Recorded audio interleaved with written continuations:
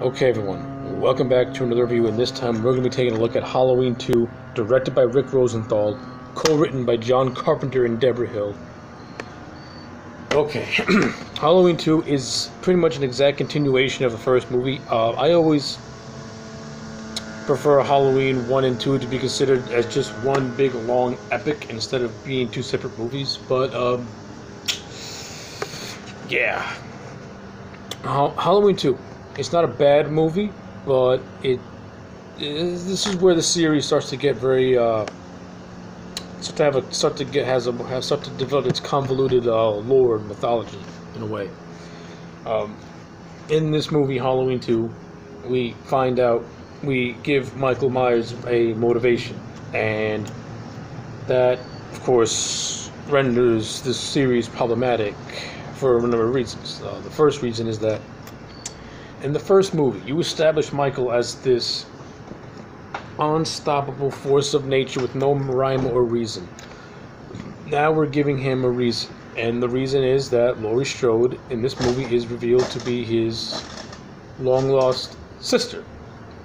Of course, Halloween 2 was made during the time of The Empire Strikes Back, and John Carpenter has attributed this thing to being writer's block and just not knowing what the hell to do and being completely loaded. So I don't blame him, but yeah, it, it, it, it does create a lot of it does create problems for the rest of the series going forward. um, but by itself, Halloween Two is it's competently made. Uh, Rick Rosenthal, you know, maintains the same, you know, atmosphere of the first movie. Um, his pacing overall not as good as Carpenter's. Um, Rick Rosenthal's pacing does get clunky in a lot of areas, um, particularly since this movie has a lot of characters in it, and there are, a lot of these characters are very disposable characters. They don't really mean or do anything for the plot but we spend time with them to develop or and to the develop them. But um, we really don't need these characters. We just need Loomis. We need Laurie. These other throwaway characters are just that. They're very throwaway characters. And this movie takes place primarily inside of a hospital, and a lot of these hospital personnel are just that. They're they're they're just cardboard cutouts.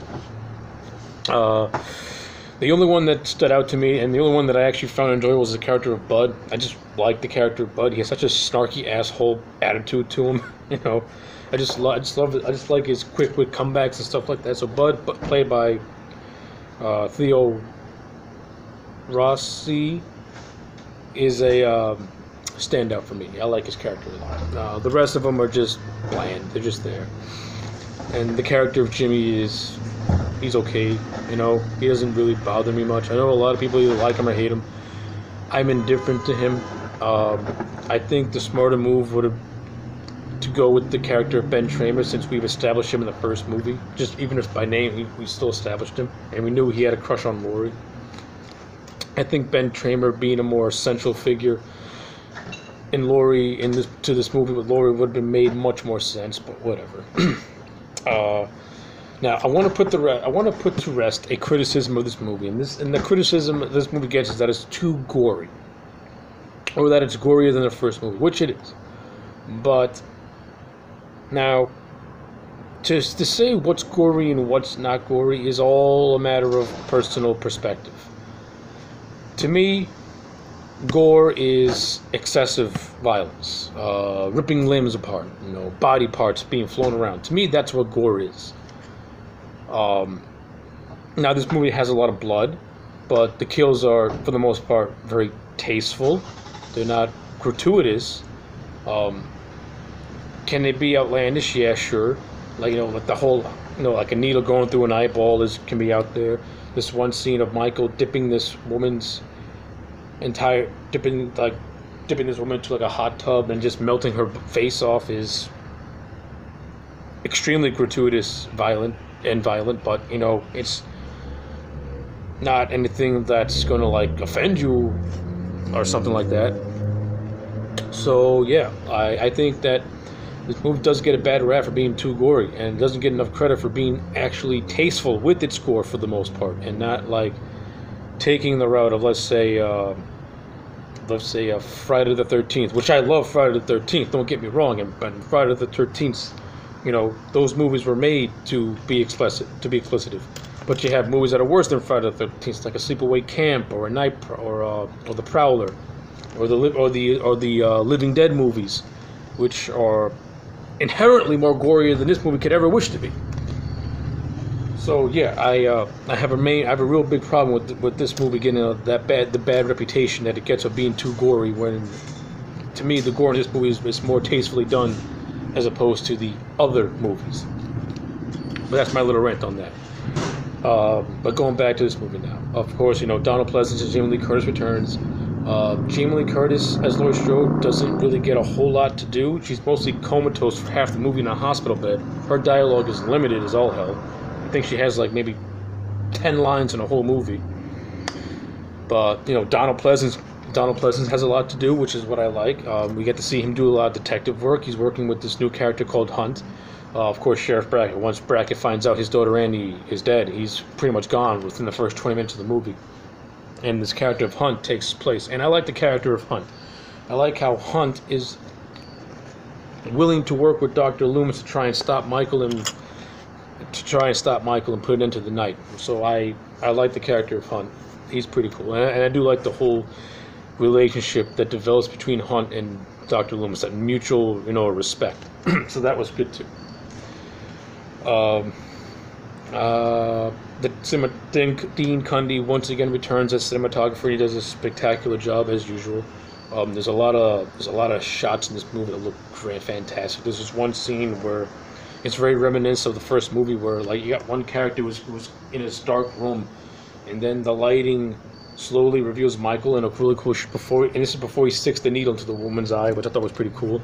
Um, I like the whole scene with the security guard before he dies. I thought that was paced really well and had a good suspense, a lot of suspense to it.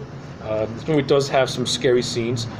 Um, the main highlight is the big chase at the end between Michael and Laurie, where he's chasing her all over the hospital. And I like the whole atmosphere of being inside the hospital. It's very confined, very claustrophobic. And to me, confined, claustrophobic places are always more scary in a horror movie because your character can literally be anywhere and you literally have very limited places where you can go because you're in a confined space. It's not like being outdoors where you can go anywhere. When you're confined, your chances of your your chances for hiding and finding places is very limited to where you are. So as is as is your weaponry. So I thought that was a good idea, and I thought that was, I thought the movie used it pretty much for the most part to its advantage. Uh, and I also like the big ending where Dr. Loomis explodes the hospital and stuff like that. So, yeah, overall, um, Halloween 2 is still a good movie. Not as good as number one, but it's still a solid movie. I think at the end of the day, I'm going to give Halloween 2 a 7 out of 10. I like it. Its pace, the pacing is okay for the most part. Rick Rosenthal's a decent director. The writing, of course, can be very clunky in a lot of areas, especially with the whole, you know, Michael is uh, Laurie's your sister, the whole Laurie's your sister thing, and a lot of the characters are very throwaway, and you don't care about any of them. So yeah, I think seven out of ten is a very appropriate grade for the follow-up to Halloween one. So yeah, those are my overall thoughts on Halloween two. Like, comment, and subscribe, and I'll check you back next time for more.